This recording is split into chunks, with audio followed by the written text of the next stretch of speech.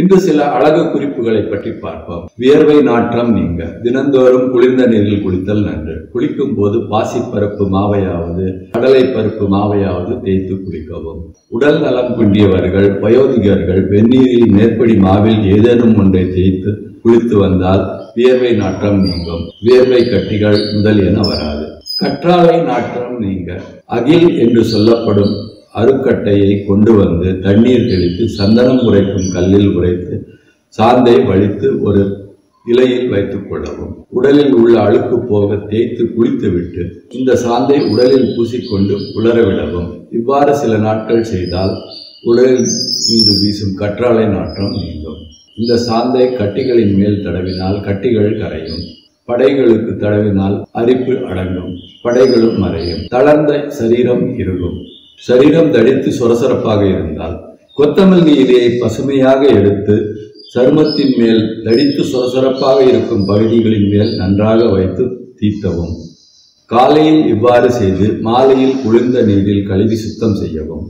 இதனால் தோல் தடிப்பு மாறிவிடும். முக அழகு முகப்பரு வந்தால் முகத்தில் வடுக்கள் ஏற்படலாம். ஆகையால் உடனடியாக முகப்பருவுக்கு மருந்து தடவி அதை சரி செய்ய வேண்டும். முகப்பரு உள்ளவர்கள் தினசரி ஒரு கப் வெந்நீர் எடுத்து அதில் ஒரு எலுமிச்சம்பழத்தை பிழிந்து சீனி கலந்து உட்கொள்ளவும். இவ்வாறு நூறு நாட்கள் செய்து வந்தால் பலன் தெரியும். முகப்பருக்கள் மறையும். மீண்டும் தோன்றாது. மேனி பொலிவு பெறும். இரண்டு பச்சை மஞ்சள் கிழங்கை நன்றாக இடித்தெடுக்கவும். ஒரு சட்டியில் போட்டு நல்லெண்ணெயை விட்டு நீர் சுண்ட வதக்கவும். இதனை முகப்பரு உள்ள இடத்தில் வைத்து கட்டவும். பரு வடிந்து நீங்கிவிடும். மூன்று துத்தியிலே கொண்டு வந்து அரைத்து காடியில் கரைத்து முகப்பரு உள்ள இடங்களில் தடவி வந்தால் முகப்பரு நீங்கும். நான்கு சுத்தமான புனுகு தடவி வந்தால் முகப்பரு பழுத்து உடைந்து ஆறிவிடும். ஐந்து அவரை இலை சாற்றை பிழிந்து பரு உள்ள இடங்களில் தடவி வந்தால் குணமாகும்.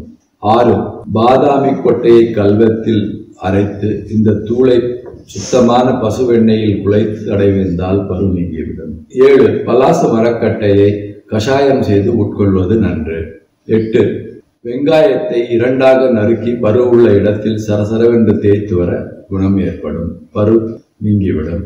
ஒன்பது வெள்ளை பூண்டையும் துத்தியலையும் நறுக்கி போட்டு நல்லெண்ணெயில் எரித்து பரவில் தடவவும். முகப்பொரு நீங்கிவிடும்.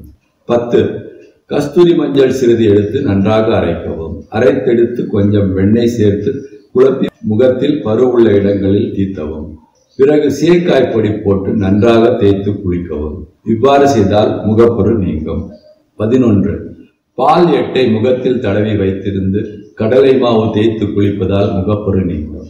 பனிரெண்டு. ஜாதிக்காய் சந்தனம் மிளகு ஆகிய இவைகளை அரைத்து முகத்தில் பூசி வரவும். இதனால் முகப்பரு நீங்கும்.